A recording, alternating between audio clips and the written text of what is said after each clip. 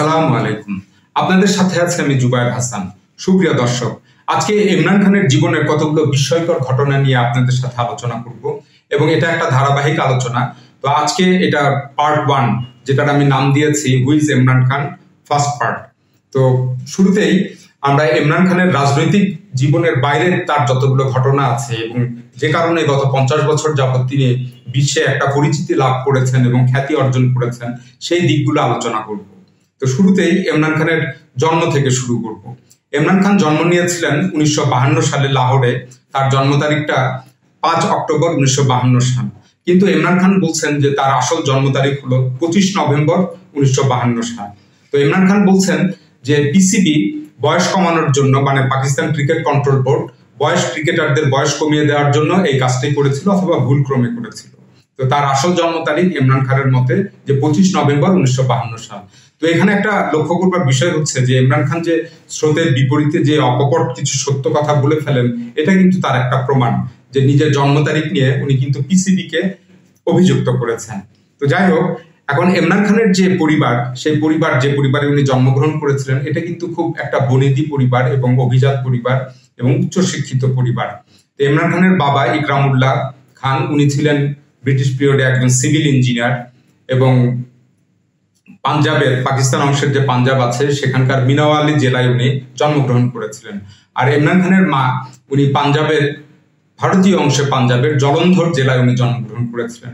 এই ইমরান খানের মা এবং বাবা, এরা দুজনেই হচ্ছেন পাস্তুভাষী জনগোষ্ঠীর মানুষ এবং যাদেরকে আসলে পাঠান বলা হয়। সে অর্থে ইমরান খান একটা পাঠান জাতি গোষ্ঠীর লোক এবং এই কারণে কিন্তু পাকিস্তানের যে পাঠান জনগণ আছেন, তারা কিন্তু ইমরান খানকে নিয়ে অন্যদের তুলনায় আলাদা একটা গর্ববোধ করেন এবং সবসময় আমরা দেখেছি যে ইমরান খানের জন্য এই পাঠানরা সবসময় এগিয়ে আসেন। তো ইমরান খানের দাদা এবং নানা এই দুজনে ছিলেন কিন্তু খুব উচ্চ শিক্ষিত সেই ব্রিটিশ পিরিয়ডে এবং তারা যথেষ্ট ধনী ছিলেন এবং অভিজাত পরিবারের ছিলেন। তো সেই অর্থে আমরা বলতে পারি যে ইমরান খান একটা সোনার চামচ নিয়ে একটা অভিজাত পরিবারে উনি জন্মগ্রহণ করেছিলেন। ইমরান খানের পূর্বপুরুষদের সম্পর্কে একটা বড় কথা বলা হয় যে অনেক আগে, প্রায় চারশো বছর, পাঁচশো বছর আগে সেই ষোড়শ শতাব্দীতে যখন শেরশাহ সুরি দিল্লির সম্রাট ছিলেন বা পুরো ভারতের সম্রাট ছিলেন, তো সেই শেরশাহ সুরির যে প্রধান জেনারেল ছিলেন হাবিলাত খান, সেটা সেই ইমরান খানের বংশের লোক। তো এভাবেই ইমরান খানের একটা বড় পারিবারিক ঐতিহ্য আছে। আর ইমরান খানের পরিবারে উনি সর্বকনিষ্ঠ সন্তান, তার আগে তার বড় চারজন বোন আছেন। তো যেহেতু চারটা বোনের পরে একজন ভাই, এই কারণে ইমরান খানের পরিবারে তাকে নিয়ে একটা আলাদা দেখভাল করার ছিল বা তিনি আলালের ঘরের দুলাল ছিলেন বা লাডলা ছিলেন। তো এটা একটা তার বড় বৈশিষ্ট্য। তো আরেকটা যে বিষয় আছে ইমরান খান সম্পর্কে, সেটা হচ্ছে তার এডুকেশন উনি কিন্তু লাহোরের ইংলিশ মিডিয়াম স্কুলে যেটা ব্রিটিশ কারিকুলামের আন্ডারে ছিল, সেখানে তার শিক্ষা জীবন শুরু হয়। এরপর তিনি রয়্যাল গ্রামার স্কুলে পড়তে লন্ডনে ইংল্যান্ডে চলে যান। তো সেখানে আবার এটা শেষ করে উনিশশো বাহাত্তর থেকে উনিশশো পঁচাত্তর সাল পর্যন্ত উনি অক্সফোর্ড ইউনিভার্সিটিতে পড়াশোনা করেন এবং সেখানে হিস্ট্রি, ফিলোসফি এবং ইকোনমিক্স এর উপরে উনি গ্রাজুয়েশন কমপ্লিট করেন। সুতরাং ইমরান খানের এডুকেশনটা খুব একটা হাই এডুকেশন তো এরপরে আসে ইমরান খানের ক্রিকেট জীবন নিয়ে। তো ইমরান খানের যে ক্রিকেট জীবন, তো ইমরান খান ক্রিকেটের যে নেশা তাকে পেয়ে বসেছিল বা ক্রিকেটে আসার পিছনেও বড় কারণ ছিল, তার খালাতো ভাইরা পাকিস্তানে খুব ভালো ক্রিকেট খেলতেন এবং তার দুজন খালাতো ভাই মাজিদ খান এবং জাভেদ বার্কি, এরা কিন্তু পাকিস্তান ক্রিকেট টিমের ক্যাপ্টেন ছিলেন ন্যাশনাল টিমের টিমের ক্যাপ্টেন ছিলেন। তো সেই সূত্র ধরে তাকেও এই নেশাটা পেয়ে বসেছিল। তো তখন সে ইমরান খান আগে থেকে ক্রিকেট খেলতেন এবং তার ইংল্যান্ডে পড়াশোনা করার সময় উনি ক্রিকেট খেলতেন।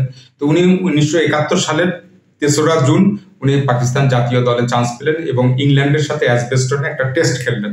কিন্তু সেই টেস্টে ইমরান খানের পারফরমেন্সটা খুব একটা বাজে পারফরমেন্স ছিল। উনি তেইশ ওভার বল করে কোনো উইকেট পাননি। আবার যখন ব্যাটিং এ নামলেন, তখন মাত্র পাঁচ রান করে উনি রান আউট হয়ে গেলেন। তো সেই সময়কার ক্রিকেটে এই রান আউটটাকে কিন্তু খুব হাসি তামাশা চোখে দেখা হতো এবং খুব তিরস্কার করা হতো। তো সব মিলে ইমরান খানের যে পারফরমেন্সটা এত খারাপ ছিল ফার্স্ট টেস্টে ডেবু টেস্টে যে ওনাকে দল থেকে বাদ দেওয়া হলো এবং ক্রিকেট বোদ্ধারা বললেন যে এই ইমরান খানকে দিয়ে আর এই ক্রিকেট টিকেট হবে না। তো উনি বাদ হয়ে গেলেন এবং সবাই সিন থেকে ইমরান খান ক্রিকেট জীবনের সিন থেকে আউট কিন্তু ইমরান খানের সংকল্প ছিল উনি নাচরবান্দা ছিলেন, কঠোর পরিশ্রম করলেন পড়ালেখার পাশাপাশি। যার ফলে উনি কিন্তু তিন বছর পর আবার চান্স পেলেন ক্রিকেট টিমে ন্যাশনাল টিমে এবং আবারও সেই ইংল্যান্ডের বিরুদ্ধে, ইংল্যান্ডের মাটিতে উনি তার আবার সেকেন্ড টাইম টেস্টে উনি খেলার সুযোগ পেলেন এবং সেই টেস্টে উনি ভালো ফলাফল করেছিলেন। এরপরে তাকে আর পিছনে ফিরে তাকাতে হয়নি এবং সেই টেস্টের পর ইমরান খান উনিশশো, আগে যেটা বললাম যে উনিশশো পঁচাত্তর সালে তার অক্সফোর্ডে গ্র্যাজুয়েশনটা শেষ হয়ে যায়। এরপরে উনিশশো সাল থেকে উনি স্থায়ীভাবে পাকিস্তান ক্রিকেট টিমের একজন মেম্বার হয়ে যান এবং আস্তে আস্তে একটা অলরাউন্ডিং পারফরমেন্স করতে থাকেন। এবং তার এই এবং উনি এই ক্রিকেটে সেই উনিশশো পঁচাত্তর সালের পর থেকে একটা স্টার বনে যান। তিনি অলরাউন্ডার ছিলেন। তো তার এই যে ক্রিকেটের যে টেস্ট ক্রিকেটে তার একটা বড় অ্যাচিভমেন্ট আছে, সেটা হচ্ছে যে সেই আমলে উনি তিন হাজার রান এবং তিনশো উইকেট প্লাস এই ক্লাবে উনি ঢুকতে পেরেছিলেন। এবং এটাতে আরও কয়েকজন, সীমিত কয়েকজন ক্রিকেটার সেই সময়কার তারা এই সৌভাগ্যটা অর্জন করেছিলেন। Richard Hadlee, Ian Botham, Kapil Dev. তো সুতরাং এটা একটা এলিট ক্লাব এই অ্যাচিভমেন্টটা ছিল। তো ইমরান খানের সময় কিন্তু আরও অনেক বড় বড় ক্রিকেটাররা ছিল। অনেক বড় বড় ক্রিকেটাররা ছিল, তাদের পারফরমেন্স ইমরান খানের চেয়েও ভালো ছিল। ভিপ রিচার্ডস তারপর অ্যালান বোর্ডার ডেনিস লিলি ইংল্যান্ডের Mike Gatting David Gower Ian বোথামের কথা তো আগেই বললাম। তো এই ধরনের অনেক ক্রিকেট ছিল ইন্ডিয়ার সুনীল গাভাস্কার। কিন্তু প্রশ্ন হলো যে এই এত নাম করা বড় বড় ক্রিকেটার থাকা সত্ত্বেও ক্রিকেট কেন ইমরান খানকে এতটা স্মরণ করে সবার চেয়ে বেশি? এর কিন্তু প্রথম দৃষ্টিতে দুটো কারণ আছে। একটা হলো সেটা হচ্ছে যে এই যে আমরা এখন যে ডে নাইট খেলা দেখি, সাদা বল এবং রঙিন পোশাক, এটা কিন্তু উনিশশো ছিয়াত্তর সাতাত্তর সালে প্রথম চালু করেছিলেন অস্ট্রেলিয়ান ব্যবসায়ী ক্যারি পেকার উনি মিডিয়া জগতেও মিডিয়ার ব্যবসাও করতেন, মিডিয়া মোঘল বলা হতো। কিন্তু এই ক্যারি পেকার যখন এই ধরনের একটা রঙিন পোশাক এবং সাদা বলের ডে নাইট ক্রিকেট চালু করলেন, তখন আইসিসি কিন্তু এটাতে বাধা দিল এবং আইসিসি এবং অন্যান্য দেশের ক্রিকেট বোর্ড তারা কিন্তু সিদ্ধান্ত নিল যে ওই ক্যারি পেকারের টুর্নামেন্টে যারা খেলবে, তারা আজীবনের জন্য বহিষ্কার হয়ে যাবে। তো তখন এরপরেও এই নিষেধাজ্ঞা সত্ত্বেও একদল ক্রিকেটার তারা ইন্টারন্যাশনাল স্টার ছিলেন, তারা কিন্তু ওই ক্যারি পেকারের টুর্নামেন্টে অংশ নিলেন। তারা দেশের হয়ে খেলতে পারলেন না। তো ইমরান খানও ওই বিদ্রোহী ক্রিকেটারদের দলে ছিলেন এবং আইসিসির দ্বারা এবং বোর্ডের দ্বারা উনি নিষিদ্ধ হয়ে গেলেন। পরবর্তীতে আইসিসি এটা ক্যারি পেকারের এই টুর্নামেন্টটাকে মেনে নেয়, তার সাথে একটা নেগোসিয়েট করে। এবং এই তখন থেকেই এই ডে নাইট ক্রিকেট রঙিন পোশাক এবং সাদা বলের ক্রিকেটটা প্রতিষ্ঠিত হয়ে যায় এবং ইমরান খান সহ অন্যান্য ক্রিকেটারের উপরেও নিষেধাজ্ঞাটা প্রত্যাহার হয়ে যায়। তো এইটা একটা বিশেষ দিক, একটা রেভলিউশন ছিল, বিপ্লব ছিল ক্রিকেট ইতিহাসে। তো ইমরান খান ছিলেন ওই বিপ্লবের একজন সাথী। এই কারণে তার একটা ক্রিকেটে এক্সট্রা একটা ভাবে তাকে স্মরণ করা হয়। দ্বিতীয় আরেকটা খুব বড় কারণে তাকে স্মরণ করা হয় যে, এই যে এখন আমরা যে খেলাটা দেখি যে দুই দেশের মধ্যে খেলা হলে আম্পায়ার থাকেন হচ্ছে তৃতীয় দেশের একটা নিরপেক্ষ আম্পায়ার এটা কিন্তু ছিল না। এটা প্রথম দাবি করেছিলেন ইমরান খান যে নিরপেক্ষ আম্পায়ার দিয়ে তৃতীয় দেশের নিরপেক্ষ আম্পায়ার দিয়ে ক্রিকেট খেলা পরিচালনা করা হোক। তো ইমরান খানের এই অনর দাবির কারণেই উনিশশো ছিয়াশি সালে প্রথমবারের মতো ওয়েস্ট ইন্ডিজ এবং পাকিস্তানের মধ্যে একটা তৃতীয় দেশের আম্পায়ার দিয়ে টেস্ট ম্যাচের আয়োজন করা হয়। তো পাকিস্তান ছিল স্বাগতিক দেশ, ইমরান খান ছিলেন ক্যাপ্টেন তো এই, এরপর আবার সেই উনিশশো উননব্বই সালে এটাও ওই ইমরান খানের জেদের কারণেই ইন্ডিয়া যখন পাকিস্তানে আসলো, তখন এই তৃতীয় দেশের আম্পায়ার দিয়ে টেস্ট ম্যাচটা পরিচালনা করা হয়। তো এই, সেই সময় ইমরান খানের এই ভূমিকাটা খুব প্রশংসিত হয়েছিল যে বিশেষ করে ইন্ডিয়ার এগেনস্টে একটা তৃতীয় দেশের আম্পায়ার দিয়ে খেলবে স্বাগতিক দেশের ফেভারটা ইমরান খান নিবেন না, এই যে একটা সাহস উনি দেখালেন, এর কারণে ইমরান খান খুব প্রশংসিত হয়েছিলেন। তো ক্রিকেটে এই একটা বড় অ্যাচিভমেন্ট আছে ইমরান খানের, যে দুটো বললাম। আরও একটা ক্রিকেটে ইমরান খানকে বিশেষভাবে স্মরণ করা হয়। কারণ, এর কারণ হচ্ছে যে ইমরান খানের মাঠের আচরণটা ছিল খুব নমনীয় এবং কমল এবং জেন্টেলম্যান ক্রিকেটকে যে জেন্টেলম্যান গেম বলা হয়, তো এটার অন্যতম একটা উদাহরণ ছিলেন ইমরান খান। যদিও এই ফাস্ট বোলাররা কিন্তু ভীষণ অ্যাগ্রেসিভ হয়ে থাকেন, তাদের আচরণগুলো একটু উগ্র হয়ে থাকে। কিন্তু ইমরান খান সবসময় মাঠে একটা স্পোর্টসম্যানশিপ এবং স্পোর্টসম্যান স্পিরিট বজায় রাখতেন। এবং প্রতিপক্ষ খেলোয়াড়দের সাথে তার একটা ফ্রেন্ডশিপ হয়ে যেত। বিশেষ করে ইন্ডিয়ার অনেক প্লেয়ারের সাথে ইমরান খানের কিন্তু একটা ফ্রেন্ডশিপ ছিল। কপিল দেব নবজিৎ সিং, সিধু, সুনীল গাভাস্কার। তবে এগুলোর মধ্যে সবচেয়ে বেশি ফ্রেন্ডশিপ ছিল সুনীল গাভাস্কারের সাথে এবং ইমরান খান এবং সুনীল গাভাস্কার, এরা একে অপরকে কিন্তু সানি, ইম্মি এইসব ডাক নামে ডাকাডাকি করতেন। তো এটা ইমরান খানের একটা খুব বড় গুণ ছিল ক্রিকেট মাঠে। ইমরান খানের ক্রিকেট জীবনের আরেকটা বড় পার্ট হচ্ছে উনিশশো সাতান্ন উনিশশো সাতাশি সালে এই ওয়ান ডে ওয়ার্ল্ড কাপ হয়েছিল পাকিস্তানে সেমিফাইনাল খেলা অস্ট্রেলিয়ার সঙ্গে। সেই ম্যাচে কিন্তু পাকিস্তান স্বাগতিক দেশ ছিল, হেরে যায় অস্ট্রেলিয়ার কাছে অপ্রত্যাশিত ভাবে তো ওই খেলার পর ইমরান খান ঘোষণা দিলেন যে তিনি ক্রিকেট জীবন থেকে অবসর নিচ্ছেন। কিন্তু এইটা কিন্তু তার ভক্ত সমর্থকরা এবং পাকিস্তানের ক্রিকেট ফ্যান ফ্যানরা মেনে নেয়নি। তারা বিক্ষোভ, মিছিল ইত্যাদি করতে থাকে যে ইমরান খান যেন অবসর ভেঙে আরও কিছুদিন ক্রিকেট খেলুক। এবং কিছু কিছু ফ্যানরা যারা একেবারে ডাই হার্ট ফ্যান তারা কিন্তু অনশন শুরু করল। তো এই পরিস্থিতিতে পাকিস্তানের তখনকার প্রেসিডেন্ট জেনারেল জিয়াউল হক একটা নৈশ ভোজের আয়োজন করেন এবং ইমরান খানকে সেখানে দাওয়াত দিয়ে রিকোয়েস্ট করেন যে আপনি এই ক্রিকেটের রিটায়ারমেন্টটা উইথড্র করেন। তো ইমরান খান প্রেসিডেন্টের সেই অনুরোধটা রাখেন এবং তিনি আবার ক্রিকেটে ফিরে আসেন। তবে উনি শর্ত দেন যে আমি এই সামনে কিছু সিলেক্টিভ ক্রিকেট খেলব, বিশেষ করে ওয়েস্ট ইন্ডিজ ট্যুর সামনে যেটা আছে সেটা খেলব এবং ওয়ার্ল্ড কাপটা খেলব, তারপরে আর ক্রিকেট খেলব না। তো এখানে খুব মজার ব্যাপার হচ্ছে সেই বিরানব্বই সালে যখন world cup one day world cup যখন অস্ট্রেলিয়ার মাটিতে খেলা হলো, সেই ম্যাচটা খুব অপ্রত্যাশিত ভাবে সেই টুর্নামেন্টটা পাকিস্তান চ্যাম্পিয়ন হয়ে আসলো এবং ইমরান খান একটা জাতীয় বীরে পরিণত হলেন। তো এটাই ছিল ইমরান খানের ক্রিকেটের কতগুলো বড় বৈশিষ্ট্য। এখন ইমরান খানের জীবনে খুব একটা বড় পরিবর্তন আসে। যখন উনি আশির দশকে তিনি তো খুব একটা তুমুল সুপারস্টার ছিলেন ক্রিকেটের সবচেয়ে বেশি জনপ্রিয়তা এবং সাফল্য ছিল তার আশির দশকে।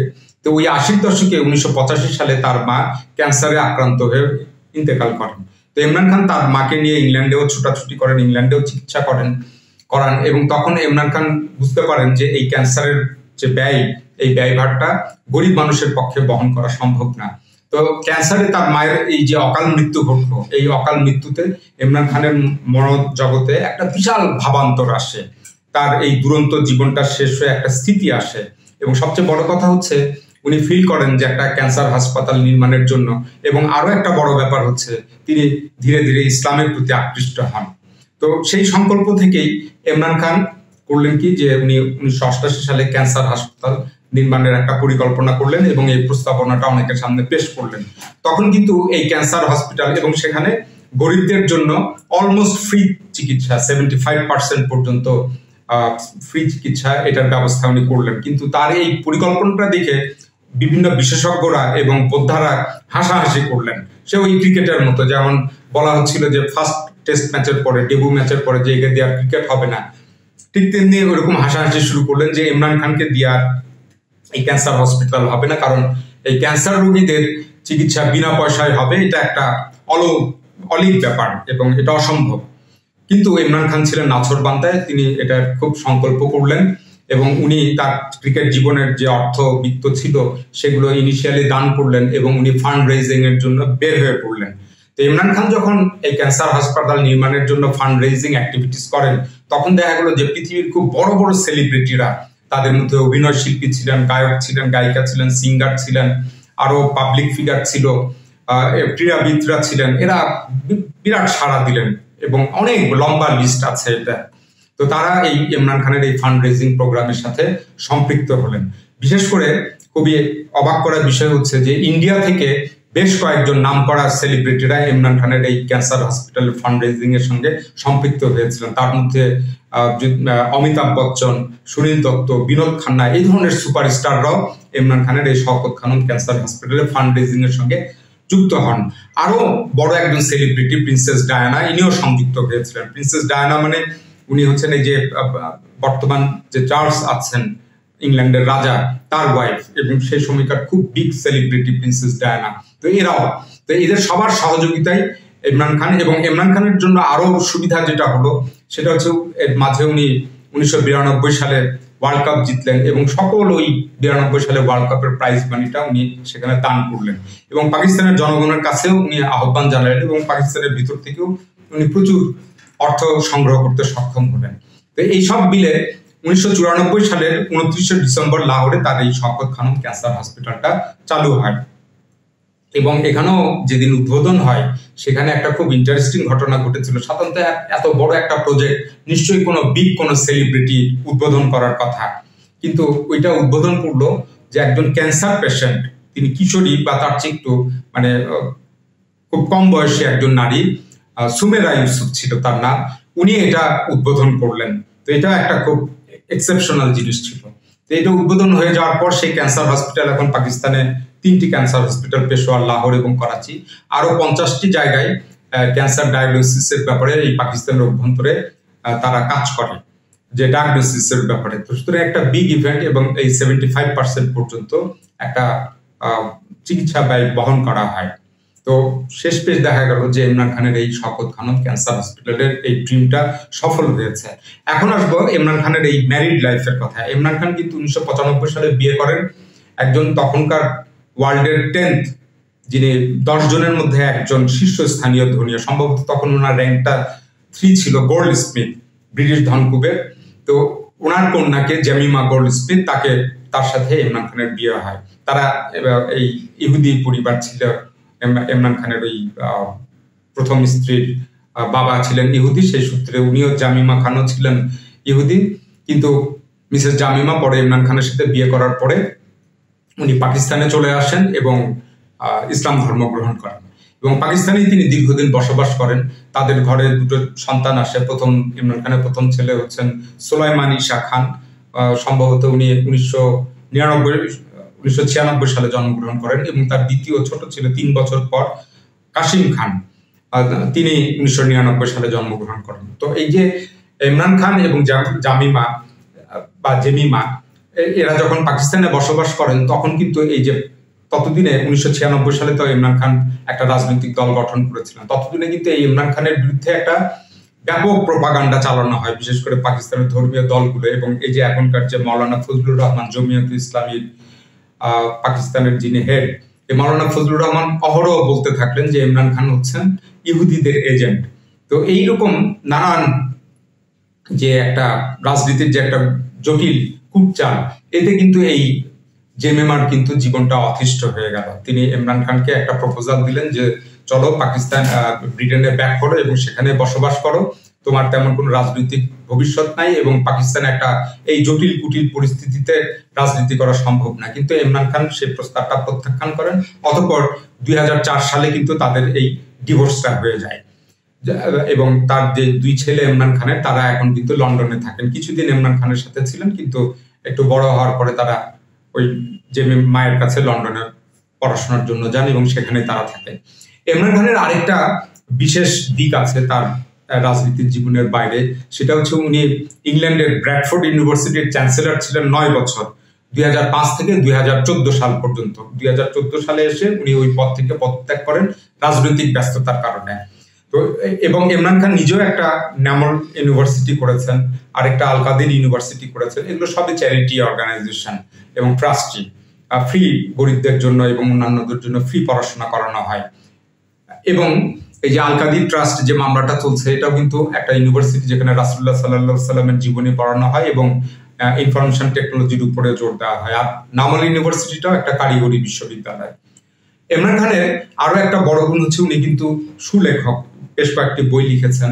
তার ওই বই পড়লে বোঝা যায় যে বেশ একটা সাহিত্য আছে, বিশেষ করে তার একটা বই আছে, Indus journey, a personal view of Pakistan. খুব বিখ্যাত বই। সম্ভবত এটা কোনো ব্রিটিশ পাবলিশার বা আমেরিকান পাবলিশার এটা পাবলিশ করেছিল। ইমরান খানের আরেকটা ভালো, বড় গুণ হচ্ছে তিনি খুব সুবক্তা এবং এটা আমরাও সবাই দেখেছি যে উনি দুই সালে যখন জাতিসংঘের সেপ্টেম্বর মাসে যে ভাষণ দিয়েছিলেন, একটা খুব দারুণ ভাষণ দিয়েছিলেন। এছাড়াও ইমরান খান বিভিন্ন ফোরামে, ওয়ার্ল্ডের বিভিন্ন ফোরামে ভাষণ দিয়েছেন এবং দুই হাজার আঠারো সালের আগে প্রধানমন্ত্রী হওয়ার আগে এই কাজগুলো উনি করেছেন। এবং ইমরান খান এমন একজন ব্যক্তি যিনি ওয়ার্ল্ড ইকোনমিক ফোরামে ভাষণ দিয়েছিলেন, যখন তিনি কোনো সরকারি পদ পদবি ছিলেন না, এটা একটা বিরল ঘটনা।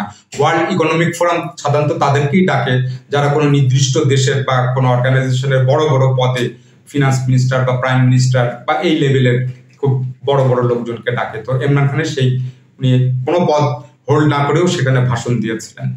আরও একটা ইমরান খানের জন্য একটা বড় ব্যাপার হচ্ছে যে উনি কিন্তু ওয়ার্ল্ডের top five hundred Muslim influential leader এই যে পাঁচশো জনের একটা লিস্ট আছে, তার মধ্যে ইমরান খান একজন। তো ইমরান খানের উনি যে একজন ইনফ্লুয়েন্সিয়াল লিডার এটা নট বাই পাওয়ার তার জ্ঞান, পাণ্ডিত্য এবং আরও অপর অপর নানান কারণে। তো সেটার একটা উদাহরণ দিই যে ইমরান খানের ইনফ্লুয়েন্সে কিন্তু খুব বিখ্যাত একজন মহিলা, একজন নারী, উনি কিন্তু ইসলাম ধর্ম গ্রহণ করেছিলেন। তার নাম হচ্ছিল ক্রিস্টিনা বাকের।